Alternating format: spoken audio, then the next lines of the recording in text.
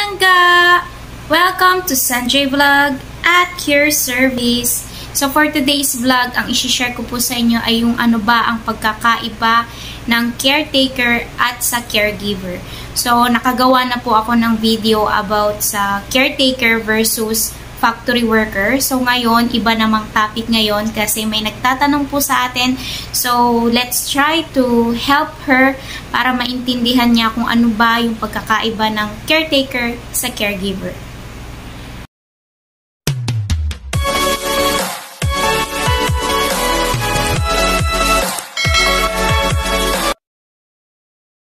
Ang unang-unang pagkakaiba nila is tungkol po sa workplace. So, sa workplace po, bilang caretaker, ang workplace ng bilang caretaker is sa, mostly talaga sa bahay po talaga siya. And um, yung iba naman, nag, uh, nagre-request yung mga amo nila na nag stay sila sa nursing home. So, nakadepende po yon sa inyong amo pag kayo po ay nag-apply ng caretaker. So, sa caregiver naman, ang workplace nila is sa nursing home sila or home for the aged. Mostly talaga ang inaalaga nila doon is elderly care. And number two is sa working hours. Ang working hours po ng uh, pagiging caretaker is 24 hours kasi nga kasama mo talaga siya mismo sa kwarto or sa bahay and kahit na anong oras pwede kanyang gisingin or kahit na anong oras pag naiihi siya, kailangan mo bumangon kahit tulog na tulog ka. Pero sa caregiver naman po is shifting po siya.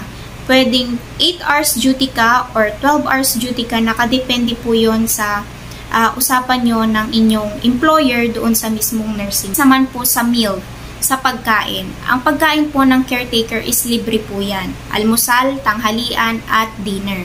Libre po yan. Or nakadepende sa amo mo, yung iba nagbibigay pa sila ng prutas. Parang dito, nagbibigay sila ng prutas every after ng kain namin. And may mga merienda rin, bumibili sila ng merienda. And yung iba namang mga employer ng mga caretaker is nagbibigay na lang sila ng allowance or food allowance lalo na po pag hindi sila naka-stay mismo sa bahay ng employer. Tulad na sabi ko kanina, pwede po ang mga caretaker is ma-assign din sa nursing home. Pero sa nursing home naman po, pag na-assign ang caretaker doon, is ang alaga lang nila ang iisipin. Saman po sa caregiver, pag uh, sa pagkain, is hindi po siya libre or nakadepende kasi yung kakilala ko po is hindi talaga siya libre. Uh, kinakaltas siya sa buwan ng sahod niya uh, pagka nakukuha niya yung sahod niya, ayun, kinakaltas na yung pagkain. Mapunta naman tayo sa mismong working description. Ang isang caretaker, ang working description niya is household at pag-aalaga talaga ng elderly care. Mostly, uh, matatandang inaalaga nila. Yung iba naman, bata. So, karamihan pero ng mga caretaker dito is mga matatanda talaga ang inaalagaan nila. And, ayun nga, tulad ng sabi ko, may konting trabahong bahay at may pag-aalaga. Pero, ang pagkakaiba naman po ng caregiver is focus lang po sila talaga sa pag-aalaga. So, tulad ng sabi ko kanina, pag sila po ay nasa nursing home, pag ikaw po ay caregiver at nasa nursing home, pwedeng ang alaga mo is apat tapos isa mo lang. Para ang mangyayari 4 is to 1. Apat na alaga or limang alaga, nakadepende po yun sa mapupuntahan yung nursing home at nakadepende po yun kung ilan pong tao ang ia-assign sa inyo para asikasuhin. Proceed naman po tayo sa day off. Sa day off po, ang bilang caretaker mostly bilang caretaker is once a month lang ang kanilang day off pero nakadepende po yan sa inyong magiging amo. So, lagi ko pong sinasabi is nakadepende po talaga yan sa magiging amo nyo. May mga amo dito na maluluwag, may mga amo naman dito na, yun nga, once a, once a month lang. So, sa care, uh, caregiver naman, sorry, sa caregiver naman po, ang pagkakaiba nila to, sa day off is sa isang buwan may apat silang day off. Sa caregiver po yun, apat na day off sa isang buwan. Proceed naman po tayo sa mga nakakasama or mga workmates or mga nakakasama sa isang bahay. Bilang caretaker, ang, ang madalas namin mga kasama dito is mga employer namin mismo. It's either yung alaga lang namin or yung mismong anak ng alaga namin. Basta meron po kaming makakasama dito. It's either alaga or kapamilya niya. Ganun po yon. And sa caregiver naman po, ang bilang caregiver, ang kasama niyo po is iba-ibang lahi.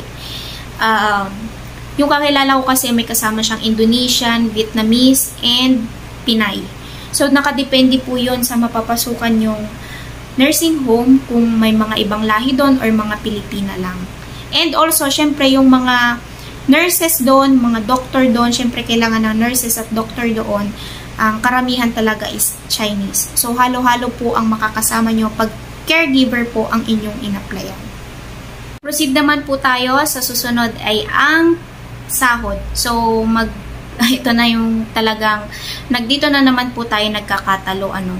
So sa caretaker, ang sahod po ng isang caretaker, ang regular na sahod po ng bilang caretaker dito sa Taiwan is 17,000 NT. Pero lagi ko pong sinasabi sa aking mga videos na ginagawa na nakadepende po 'yon sa inyong magiging amo. So, depende po yon Pero ako po kasi is, nag-start po ako sa 17,000 NT. Pero yun nga, nung pangalawang taon ko dito is, in-increasean po ako ng uh, ah, 1,500. So, 18,500 na po ang sinasahod ko ngayon. So, sabi ko nga, meron ditong mga caretaker na ang kanilang sinasahod is 20,000 above.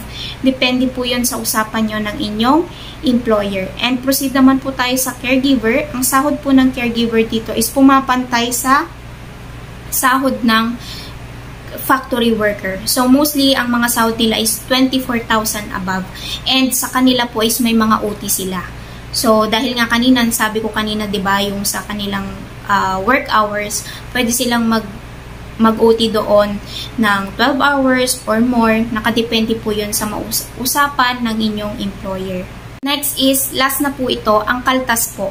So, sa kaltas po ng caretaker is uh, broker's fee, insurance, and yung medical lang po na nagaganap sa tatlong taon is tatlong beses. So, yearly po yon 2,000 and So, ayun, ang mga kaltas naman po sa mga caregiver dito sa Taiwan is ang kanilang dorm, may bayad po yon yung tinitirahan, may bayad po yon and ang kanilang pagkain is binabawas din po yan sa inyong buwan ng sahod.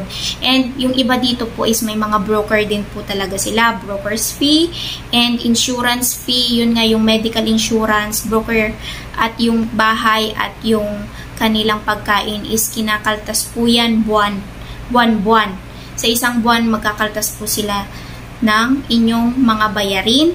And also, yun nga, yung meron din po silang medical na ginaganap. And alam ko parehas lang ang price or, or ang parehas lang po yun sa pagiging caretaker is 2,000 din po yon So, 3 years ang kontrata dito. So, tatlong beses po tayong mini-medical dito sa Taiwan. So, yun lamang po ang kanilang pagkakaiba and kung may mga katanungan pa kayo, pwede po kayong mag-comment. And syempre, mag-like, mag-share at mag-subscribe ka na sa aking channel, lalo na po kung balak mo talagang mag-apply dito sa Taiwan. So, maraming maraming salamat. God bless. Bye!